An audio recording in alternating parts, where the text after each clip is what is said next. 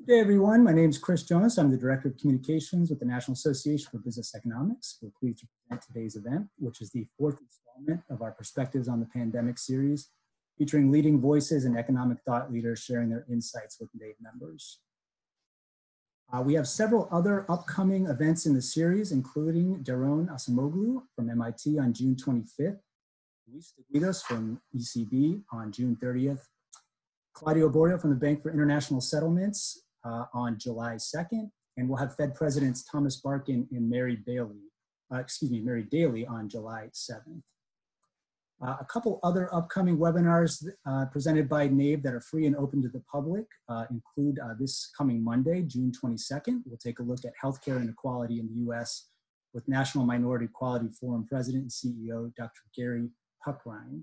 Then on Wednesday, June 24th next week, we will have uh, Harvard, uh, from Harvard, Jeremy Stein, who will take a look at an evaluation of the Fed Treasury credit programs. I also wanted to mention that the 17th annual NABE Foundation Economic Measurement Seminar will take place virtually this year, uh, August 31st to September 2nd.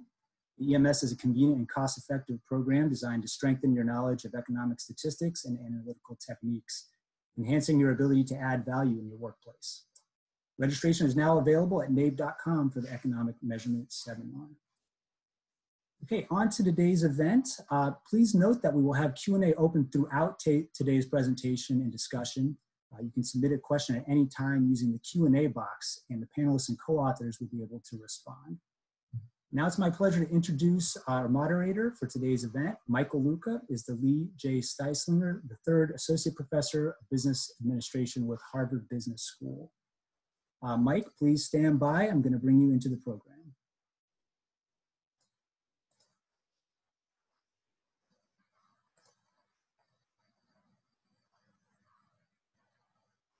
Thanks, Chris, and thanks everyone for joining us. Um, so over the last few months, the coronavirus pandemic has led to both a public health crisis and an economic crisis. And we've seen policymakers facing pressing questions about the impact the crisis is having the impact new policies are having and what the business and economic landscape might look like over the next few months and how policymakers and organizations might help to adjust. Uh, over the last uh, few weeks, NABE has been putting together this series on perspectives on the pandemic. And the idea is that as this landscape is rapidly evolving and new data is becoming available, new questions are arising, this would help to give a sense of the breadth and depth of work being done on this. Uh, today, we're fortunate to have uh, Raj Chetty joining us. So Raj is a professor of economics at Harvard University and director of Opportunity Insights.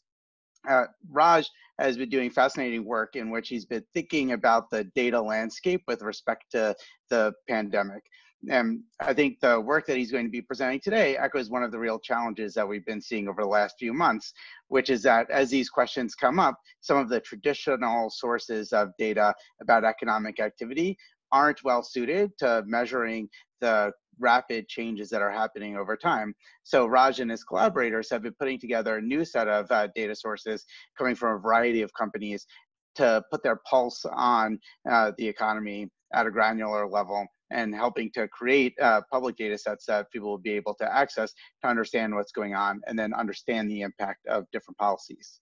Um, so today what we're going to do is Raj is going to give an overview of this work um, and Raj's collaborators are also uh, on the line. And if people have questions or comments along the way, if you enter your questions into the chat box, um, people are going to make an effort to try to answer them as we go along after Raj provides his overview, then we're going to be joined by uh, my co-moderator, Susan Lund. Uh, Susan is a fellow NABE board member with me and is a partner uh, at McKinsey and a leader of the McKinsey Global Institute, where she's worked on a number of fascinating issues related to global labor markets, financial markets, and trade after the session, uh, Susan is going to facilitate, uh, give some remarks on Raj's work, and then facilitate a discussion with him. And then at the end, to the extent that there are further questions people have, uh, we'll take some audience questions for Raj and his collaborators. So uh, with that, just to make the most of the time that we have, I'm going to hand it over to Raj uh, to present. So thank you, Raj, for joining us.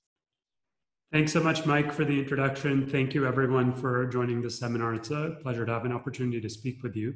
So give me just a moment here to uh, pull up some slides. Is uh, everyone seeing these? Does that look good, Mike? Uh, great.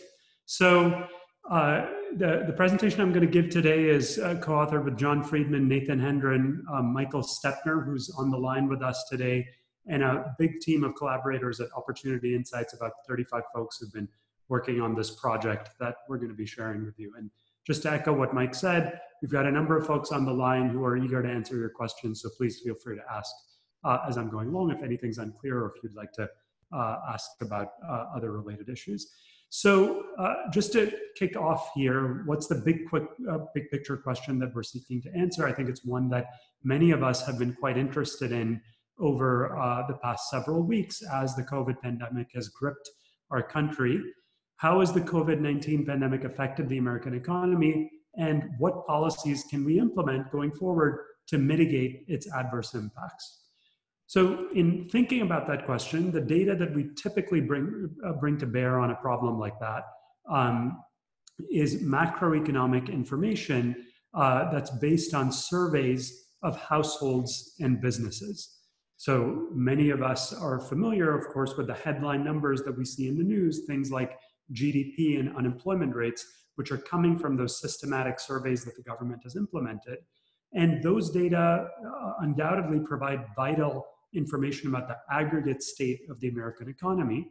However, our sense is that they have two key limitations in terms of forming economic policy uh, going forward. So, first, as many of you will know, they are available standard data sources uh, that the government puts out they're available only with significant time lags at relatively low frequencies. So to give a concrete example, if you take, suppose you're interested in data on consumer expenditures, you turn to something like the Consumer Expenditure Survey to get information disaggregated across states or over time. But what you'd find is you only get that data at a quarterly level, and typically it's going to take a year until you have information for the current quarter, which of course limits the capacity to use that data to inform current economic policy. A second major challenge is that most data sets that we have cannot be disaggregated in very fine ways across income groups, across areas, across sectors to understand variation in terms of how the economic shock is affecting different types of people or different types of businesses. And so, motivated by those challenges, what we're doing in this project is to build a real time, publicly available economic tracker using transaction data from several private companies, which we really think have the best window into economic activity in the era of big data. So think of credit card processors, payroll companies, all of these companies that essentially can see a huge swath of economic activity. We're going to take all of that data and build a publicly available tracker where you can monitor economic activity by zip code, by day. So very high frequency in a very granular manner. And we're going to show, hopefully, uh, convince you that this data can be incredibly valuable for economic policy by doing two things in the talk today. First, we're going to study differences by income group, geography, and industry. So we're going to disaggregate that data to analyze the mechanisms through which the COVID shock has led to unprecedented job losses in the United States. So, why is it that we're in the situation that we're in? And then, second, in the latter part of the talk, we're going to turn to policy responses and we're going to ask okay, what can we do to mitigate those job losses? And we're going to evaluate the causal effects of the major stabilization policies that have been enacted to date. So, the stimulus program, the paycheck protection program, and so forth.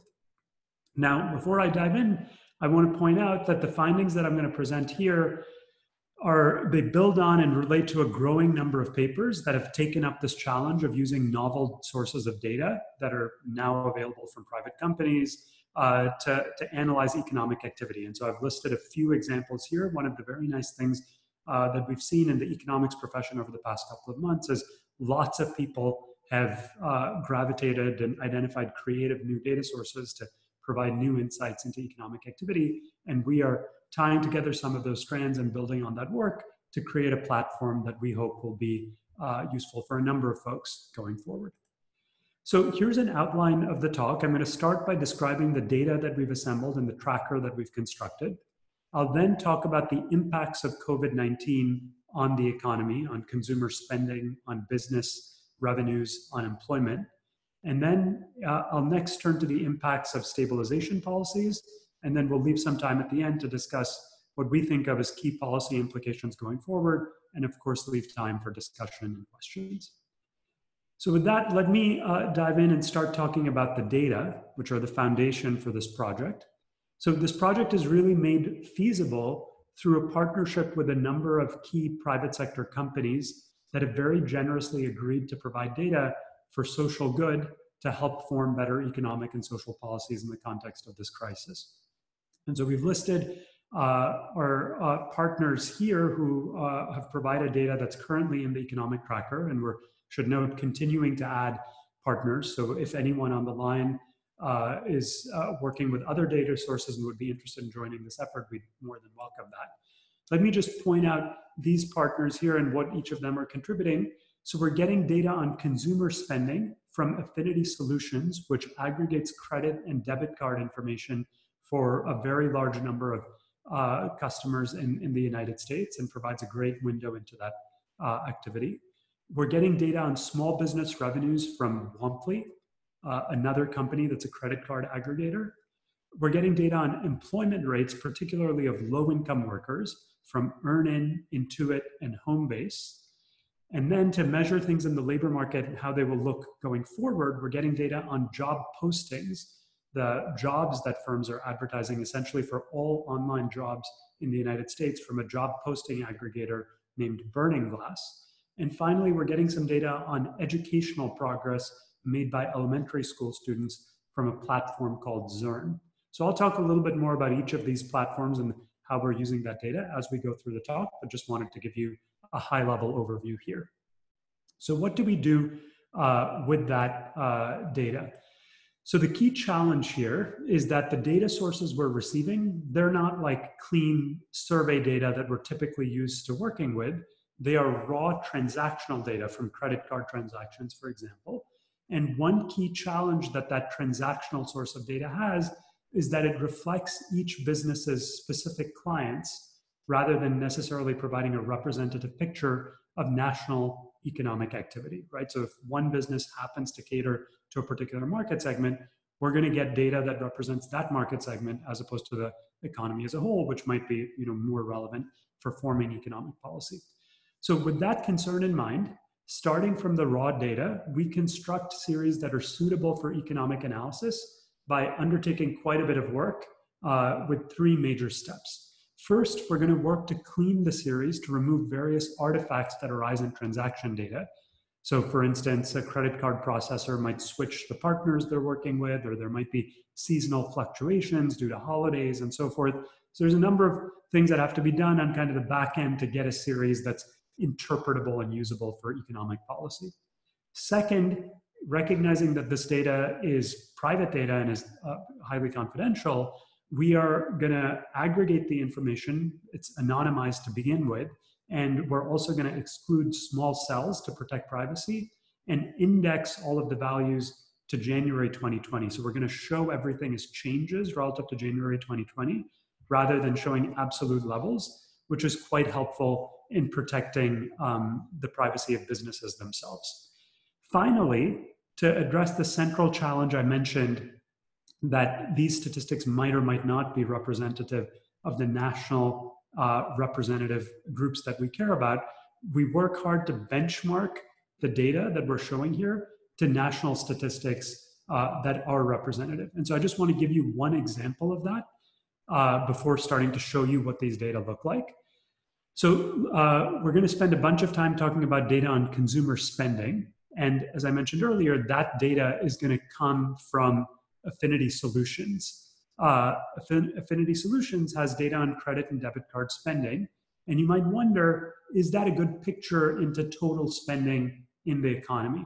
And so to assess that in this chart here, we're plotting in the green information from the monthly retail trade survey, which I'm sure many of you are familiar with, just came out for this month a couple days ago, which is a survey of about 13,000 uh, firms in the US that collects information on retail uh, trade. So, in this case, showing data for food service establishments, among uh, many other sectors.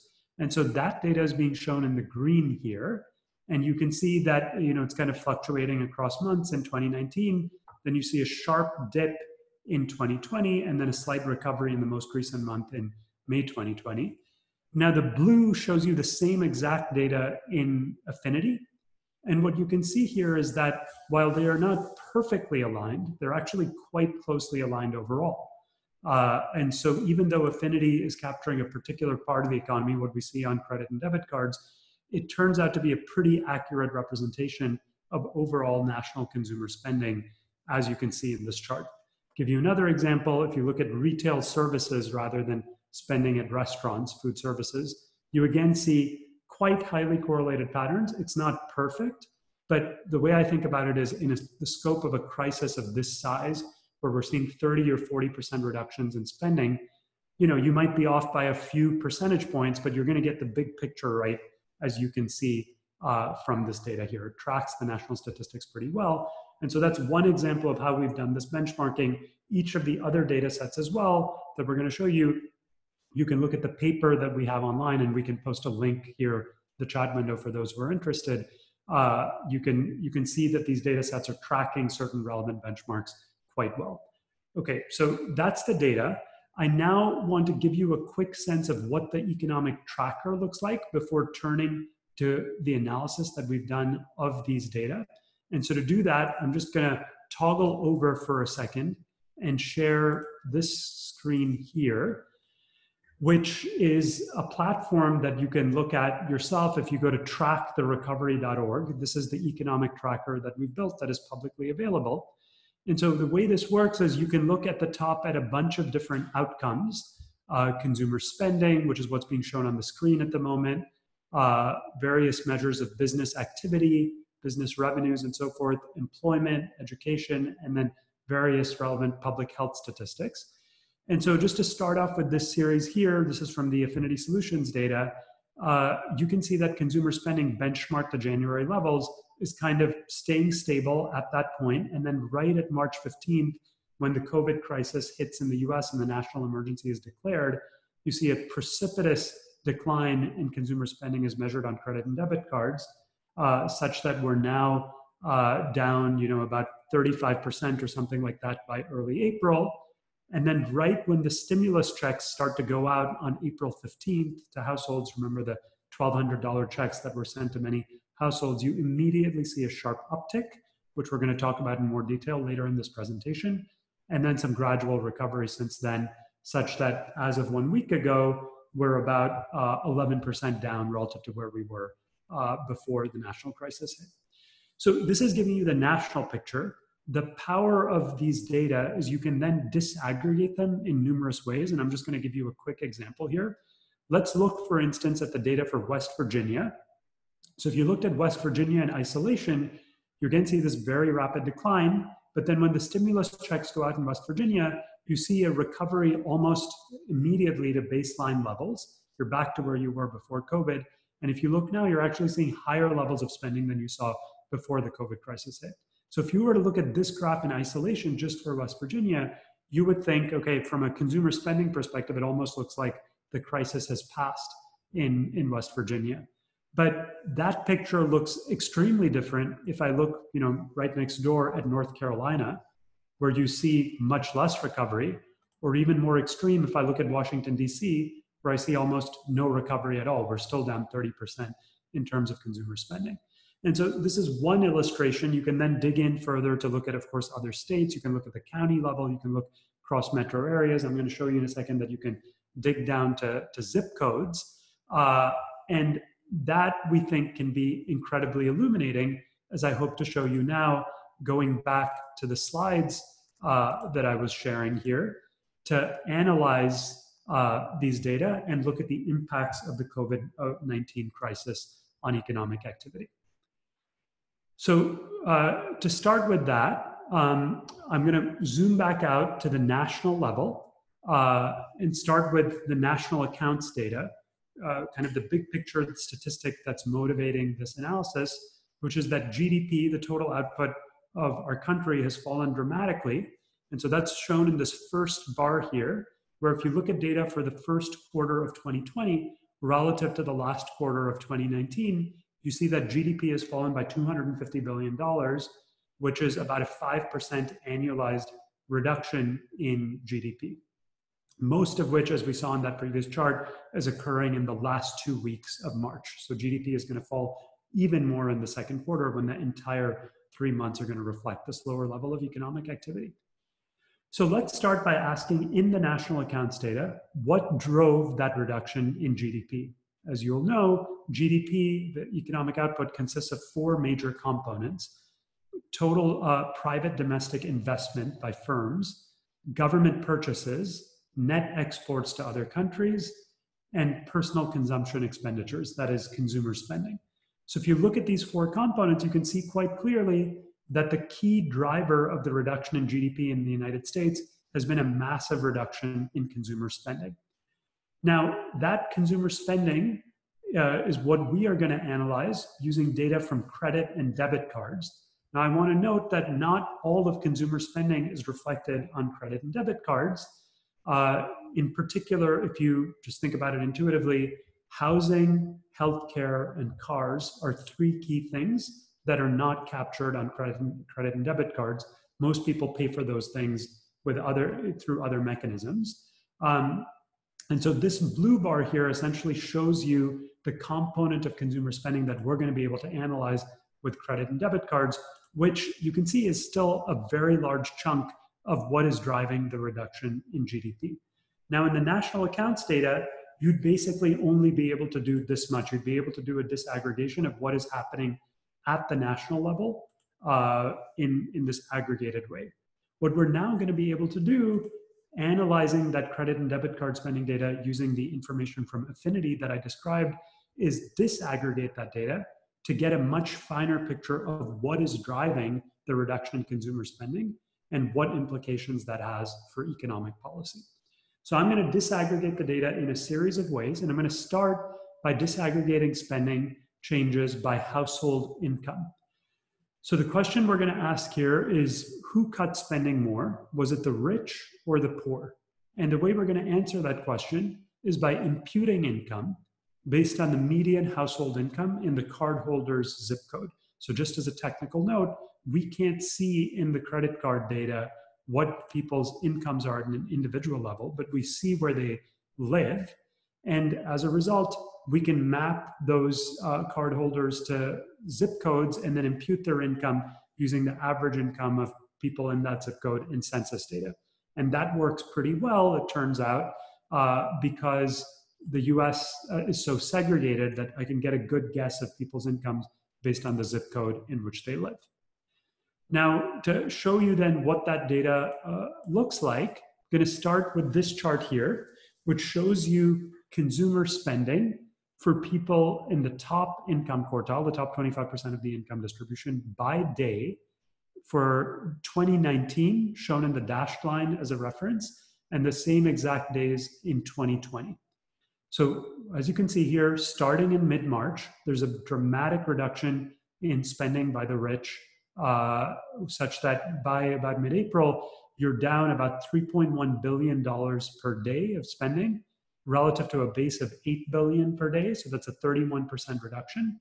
And then you see a gradual recovery, but even at the end of the period as of June 9th, we're down about 1.4 billion, 17% relative to baseline values. So that's for the people at the top of the income distribution. Let's now contrast that with people at uh, the, the bottom of the income distribution in the bottom 25%. And there, as you can see, uh, you see a similar qualitative pattern, but a much smaller reduction, both in a percentage sense and in absolute dollars. So, in particular, if you look at mid April, low income folks are spending 23% less than they were pre COVID. And by the end of the period, they're basically back to baseline levels of spending. And so, the key implication of this is that in order to understand consumer spending changes in the US, you really need to focus in this crisis on the top of the income distribution, why the rich are cutting spending so much, because the top quartile of the income distribution accounts for more than half the reduction in aggregate spending in the United States by, uh, by June. And that's driven by the fact by that the rich both cut spending more in percentage terms and account for much more spending to begin with, precisely because they're richer and end up spending more money. Okay, so that's point number one. This consumer spending shock is driven uh, primarily by high income folks. Next, a different disaggregation that turns out to be useful in understanding what's going on. Let's disaggregate the data by sector. So, what we're after here is understanding why spending fell. Was it because of a reduction in purchasing power? So, that's usually what drives recessions. People lose their jobs, stock market falls, people have less wealth, that drives them to spend less.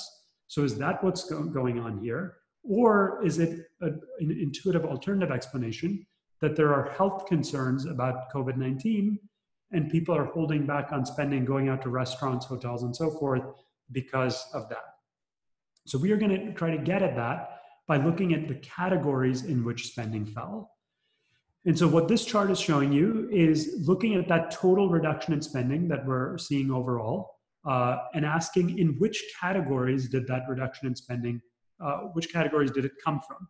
And so you can see that the vast majority of the reduction in spending comes from what you might think of as in person services, things like hotels and food, transportation, uh, recreational activities, all of which require you to basically go out of your house and be in contact with other, other folks, which obviously carries the risk of COVID infection.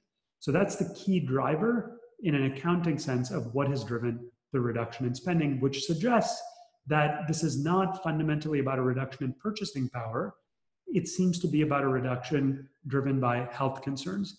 You can see that even more directly if I look at very specific categories. Let me give you a couple examples here. If you look at spending on things like installing a swimming pool in your house or landscaping services, that has actually gone up a little bit relative to pre crisis levels.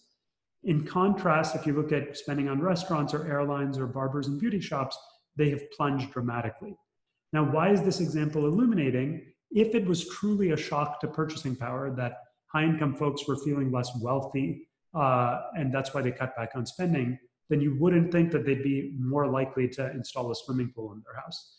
And so, you know, I think it's precisely that those are activities that don't carry health risks. And that's why we're continuing to see spending there and not in the activities that require in person contact. Now, this picture of spending reductions is incredibly different from what we've seen in prior recessions.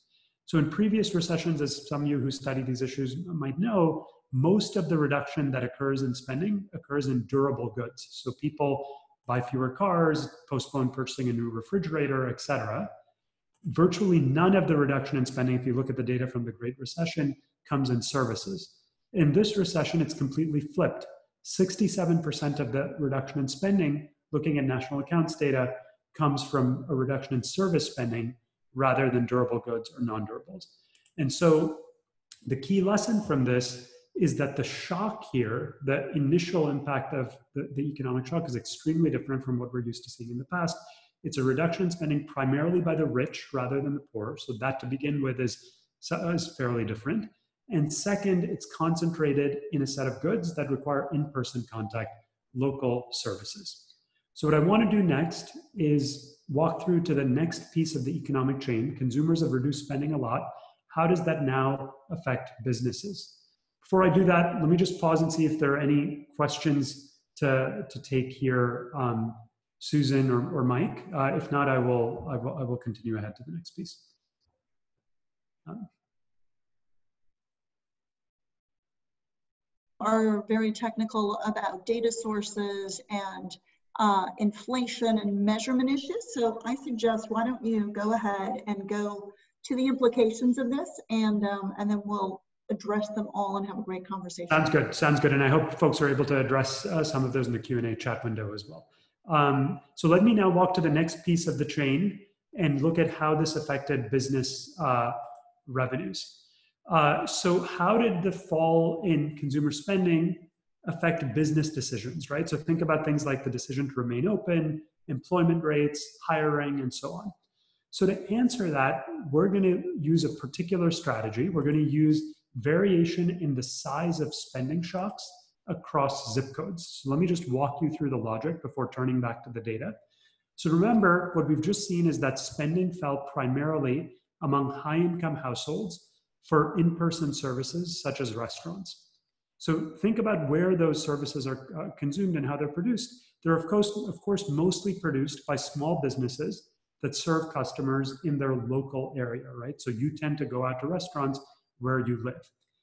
And so what that means is we can use differences across zip codes in average household incomes or the degree of affluence basically to create variation as a source of variation in the size of the spending shock that businesses face. So a restaurant that happens to be located in a very high income neighborhood is going to face a much larger spending shock than a restaurant that happens to be located in a neighborhood that uh, is lower income. And so we're going to use that, as you'll see in a second, to analyze the impacts of the economic shock on businesses and then on their workers. So to show you how this works, let me start by just giving you an example. You can see this very clearly in a map. Here's uh, now disaggregating data from Womply on business revenues by zip code in New York City. And so what we're showing you here is for every zip code in New York, how much did small businesses in that zip code lose in terms of total revenues uh, pre-COVID to post-COVID? And what you can see really here is really some dramatic variation. Start by looking at the legend here, where you can see that in the darkest red colors, look for instance here in, uh, uh, in Manhattan, the Upper East Side and so forth, you're seeing more than 87% reductions in revenue from pre-COVID to mid-April. In contrast, if you look at uh, areas up here in the, in the Bronx, you're only seeing about a 12 to 20% reduction in small business revenue. So just a massive difference in terms of the amount of business that's been lost across different parts of New York City, in particular the more affluent areas in Manhattan experiencing dramatic reductions in business. You can look to give you just another example at San Francisco, very similar pattern. You look at the most affluent parts of the city, Pacific Heights, for example, or the areas right around the coast, uh, 90% reductions in small business revenue. Look across the bay in the East Bay, look at less affluent areas like Hayward or up in San Pablo and Richmond, seeing 30% reductions in revenue. Now, that pattern holds not just in New York and San Francisco, but broadly uh, across the United States this is just a simple depiction of that. It's a bin scatter plot showing you changes in small business revenue from January to April, plotted against median two bedroom monthly rents in the zip code, a simple measure of the affluence of the zip code. And you can see that in the most affluent zip codes in America, businesses are losing something like 55 or 60% of their revenue.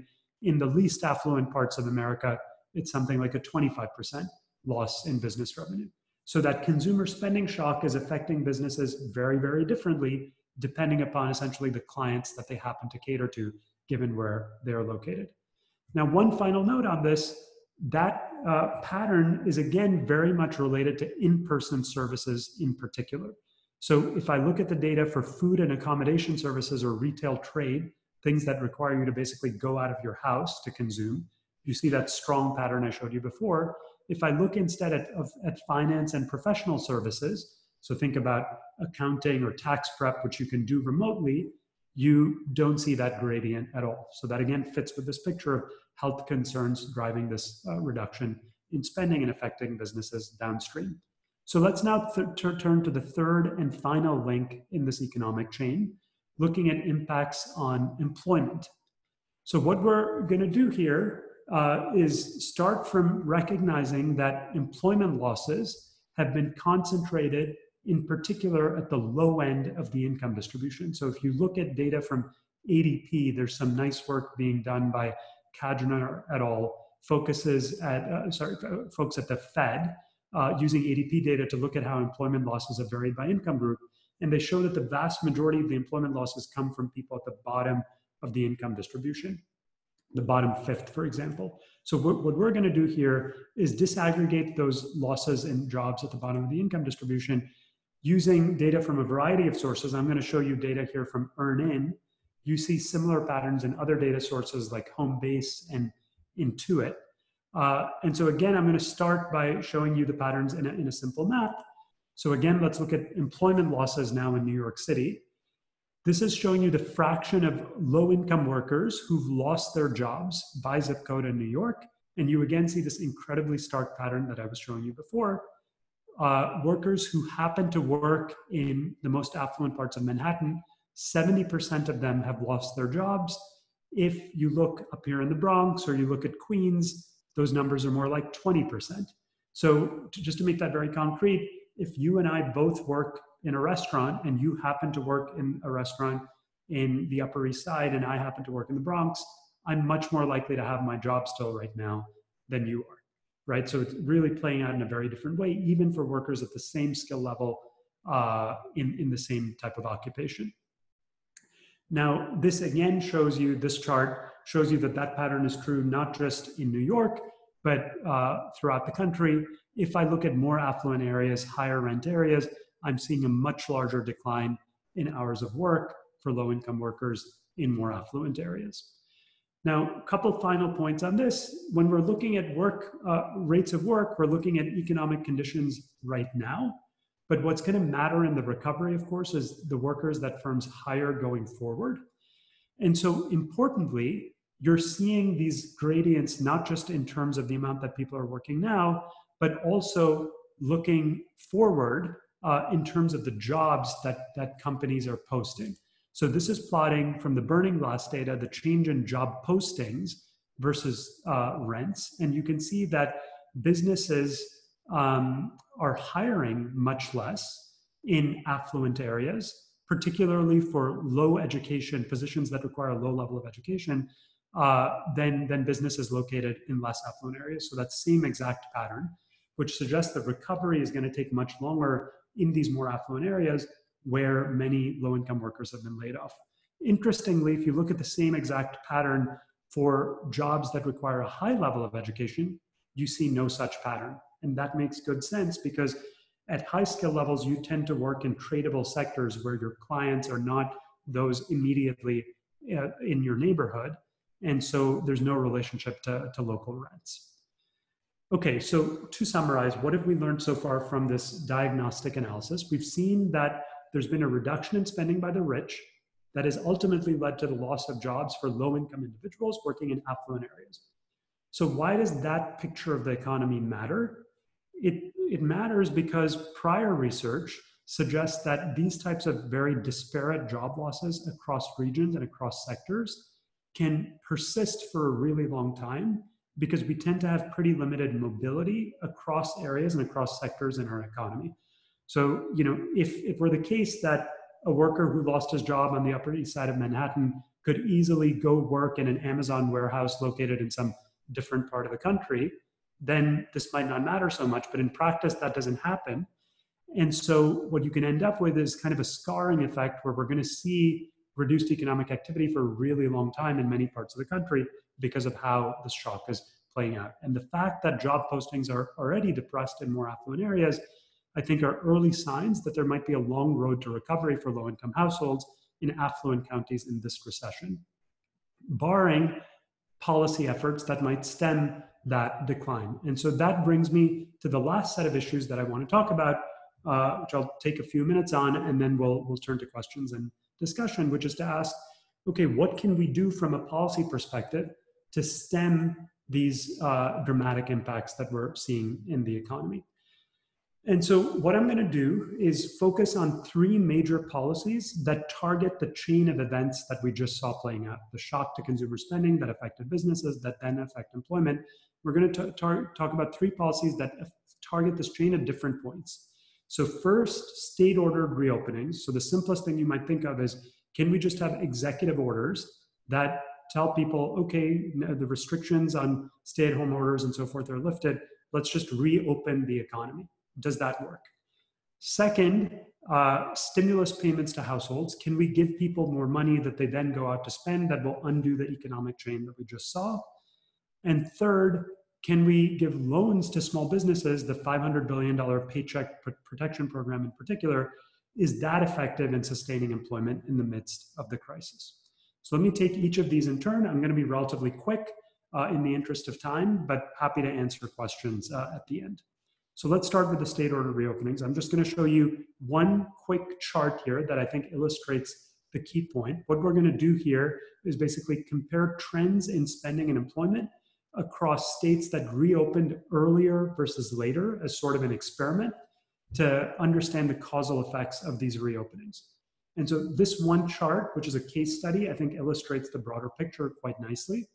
So here we're tracking spending patterns in Wisconsin and Minnesota. Uh, th this is a good comparison because Wisconsin, and Minnesota both had shutdown orders at the same time, but then Minnesota reopened several weeks before Wisconsin did. And so if the reopening had a big effect on economic activity, you might expect to see a surge in spending in Minnesota right after it reopened relative to Wisconsin. But as you can see, you see no such thing. If anything, spending actually looks slightly lower in Minnesota afterward relative to Wisconsin. And more broadly, if we look at employment measures, we look at business revenues, you look at any number of statistics, you always get exactly this picture. In the paper, we do comparisons across many other states and aggregate this up. And our basic conclusion is that, at least in the short run, state ordered reopenings have very limited capacity to increase economic activity. And I think that makes sense if you think, going back to the first part of the presentation, if the fundamental cause of the reduction in economic activity is concerns that consumers have about their own health, it's not about restrictions and th- that the government's imposing, it's that people are worried themselves, then you can't undo that by just having an executive order that businesses are now reopened. You actually need to manage to restore consumer confidence, I think, to boost consumer spending. Okay, next let's turn to stimulus payments. So, as I'm sure many of you will know, the CARES Act made direct payments to uh, nearly 160 million people in the US that totaled 267 billion as of the end of May. There were larger payments made to lower income households who typically got $1,200 per person, and the vast majority of those payments, if you look at deposit data, they were deposited on exactly April 15th, 2020, which turns out to be useful for our analysis, as you'll see in a second. So the question we're asking here is, was the stimulus effective in increasing consumer spending and restoring employment? So to analyze that, we are going to go back first to the spending data and look at it at a very high frequency, look at it day by day, and look at what happened in particular to spending patterns for people at the low end of the income distribution, the bottom income quartile shown in the blue, versus the top income quartile. So what you can see here from this first chart is that right when the stimulus checks went out, shown by the dashed line here, there was a dramatic and immediate increase in spending by low income households. And then there continued to be a recovery afterward.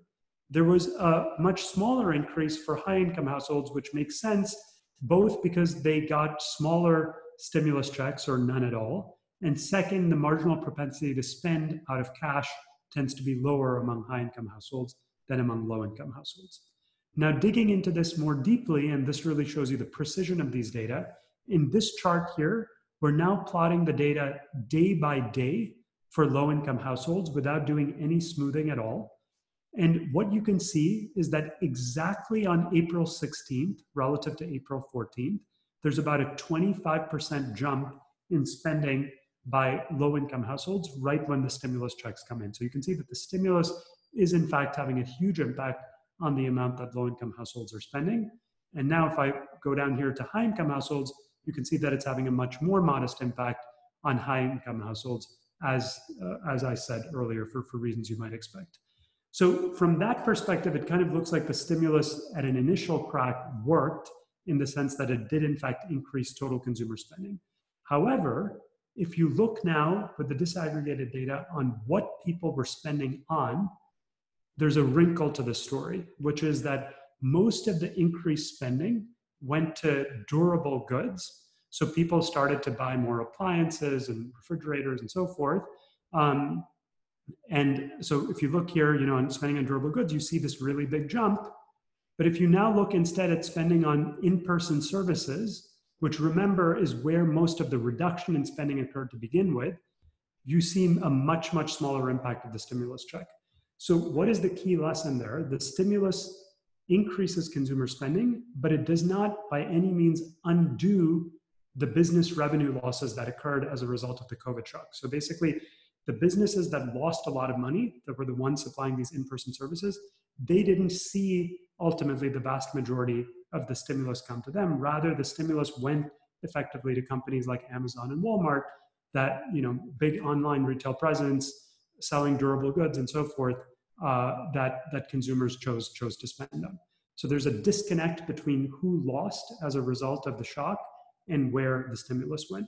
That is true not just across sectors, but also across areas. So if you look at the recovery in terms of small business revenues, it's almost complete in low in uh, in lower income places, low rent places, but in the high rent places, affluent areas shown in the dashed line here, which took the biggest hit to begin with, you're not seeing that much of a recovery because high income folks are not going and spending the stimulus at local businesses.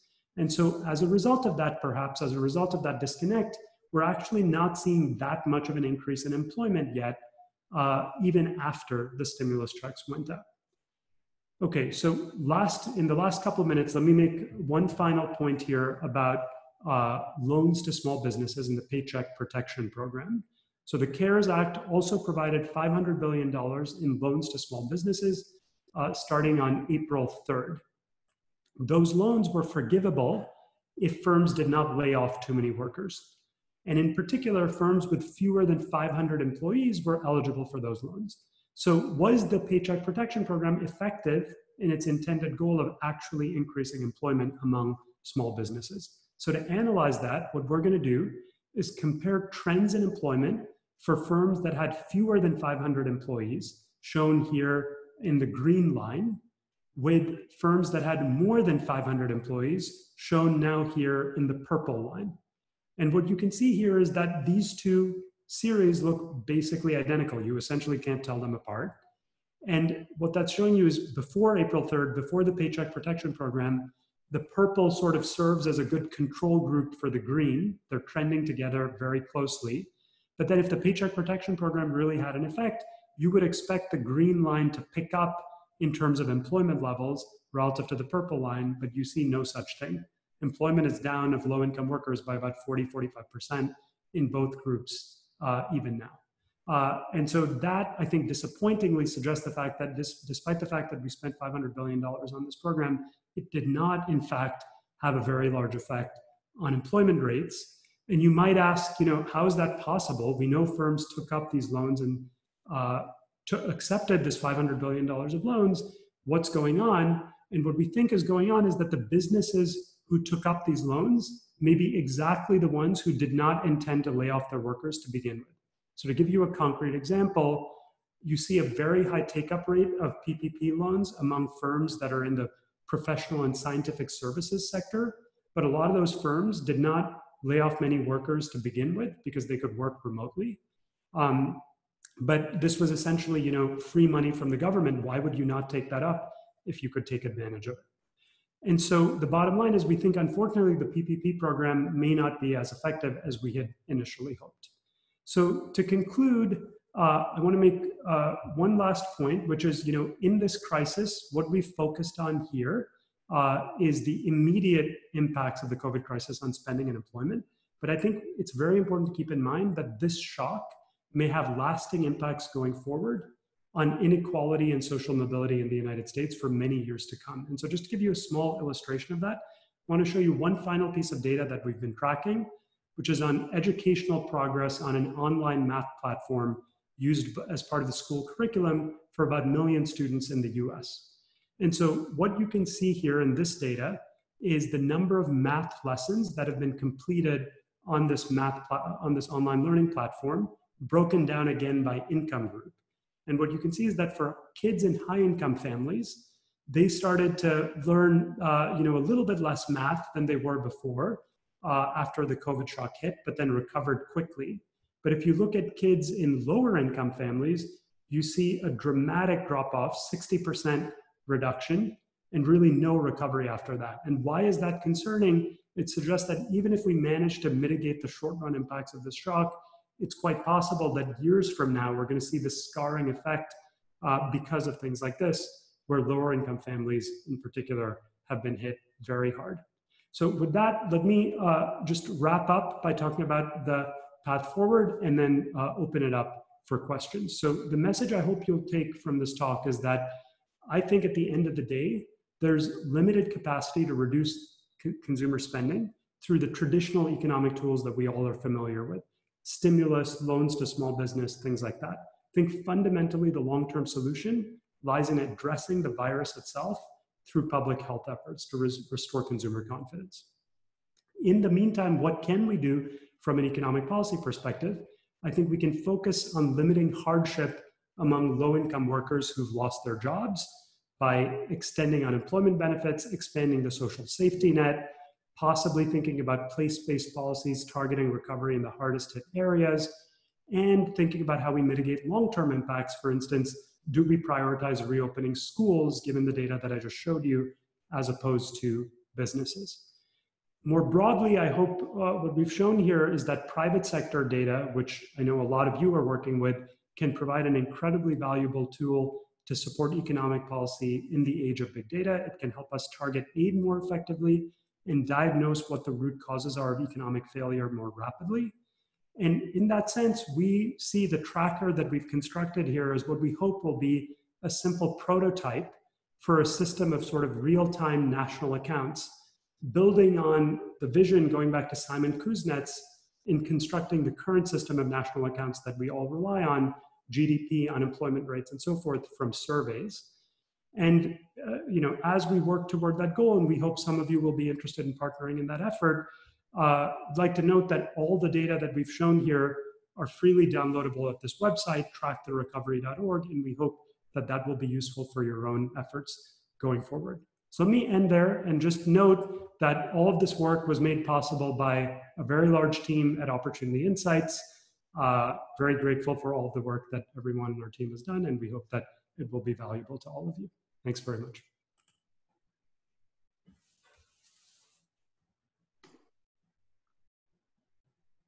Perfect. Thanks so much, Raj. That was fascinating. Uh, you've been a pioneer now for so many years about looking at the geography of economic spending and using new types of data to get at questions around employment and social mobility. We've got a lot of questions and not a lot of time.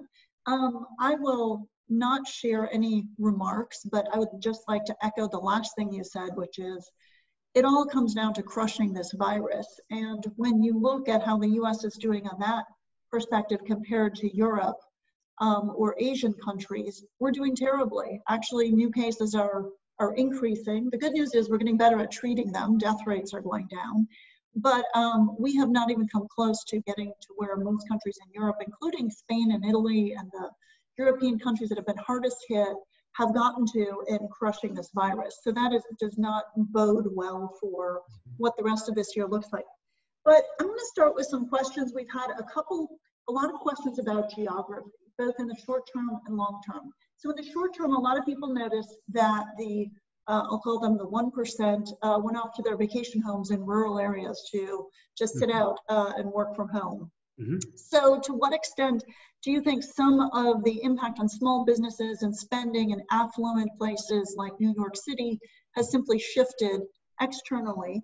And then longer term, coming out of, of uh, this crisis, um, do you think that there would be a sustainable impact on where people choose to live, especially if we can do work from home, and where businesses might choose to locate away from the largest urban centers and public transportation hubs uh, that over the last 10 years have attracted and created most of the jobs? Yeah. Uh, both excellent questions. So on the New York City example, uh, certainly for the very affluent, the top 1%, people who have second homes, there's some capacity to basically go somewhere else, and that might be hurting small businesses in that area. So my sense is that is part of what's going on in New York in particular. But more broadly, Susan, I think you know when you look at the data across the U.S., leave out the top one percent areas and look at slightly less affluent places. I think that's less of a central mechanism, and we're seeing this pattern very broadly. If you look at the more affluent, you know, not the very richest, but the 90th percentile in the Bay Area versus the 50th percentile. And so I think the phenom- that's an example of a broader phenomenon where people are cutting back and that's affecting local businesses. So I wouldn't think of this as just mechanically driven by people moving somewhere else. But I would see that as kind of one illustration of a much broader phenomenon that's affecting small businesses. Now, very interesting question how long are these behavioral changes going to persist? I hate to make forecasts because economists have a no- notoriously bad record at uh, making any prediction. So I can't say I, I know for sure. My instinct is that we are definitely going to see some sustained changes in the way people do things. I think we've all figured out that you can actually do things on Zoom in a reasonably efficient way as we're doing here. And maybe it doesn't make sense to fly across the country to give a talk and you can actually do this reasonably well. And that might have some impact on the airline industry and the hotels and so forth. But my instinct is we also, and as my colleague Ed Glaeser has shown, you know, there's just a tremendous value to interaction. And I think those of us who've spent a lot of time on Zoom also recognize that at some point we would really like to be together in person and not just be in front of our computers. And I, my instinct is that is going to kick back in. And so I'd be very surprised if there isn't a tendency towards agglomeration, as Ed Glaeser calls it, uh, and an interest in being back in contact with, with people. So I don't expect us to kind of move to a businesses that are locating in rural areas and everybody's living in rural areas. Right. Facebook uh, is the famous example there saying that they expect half their workforce to work remote um, in the coming years. Although then they also said they're going to pay you less if you do move to Wyoming or Montana. So that might have just uh, decreased the take up rate. Um, let's go to look, the fundamentally, uh, I think what you've shown resonates with everything. I've seen um, I fully concur with you. Forecasts are out, dashboards are in. We've got to look at real-time data. Uh, Google Mobility, for those of you who are, who are interested in this micro data, has some great data about foot traffic in different places so you can see where people are moving about. Um, but structurally, what's happened, what you have highlighted is that there are a lot of crappy jobs in America, right? That there are is inequality in which you have very highly paid, highly skilled workers, and then there's a very large service economy that's dependent on them. And those service economy jobs typically don't have benefits, they have low wages, they don't have job security. Coming out of COVID, so the way certainly I view COVID, and I think all the now hundreds, if not thousands, of companies I've spoken to over the last 13 weeks view COVID is that we this is a massive disruption, that the world coming out of this pandemic will not be the world we lived in in January. Um, air travel and Zoom, business travel, all of the economic activity. Who knew that was dependent on people moving around? Mm-hmm. And I think we, I think it's been startling, certainly to me and probably to you, just to realize how much of the economy was dependent either on me driving to the office or me getting on a plane and flying.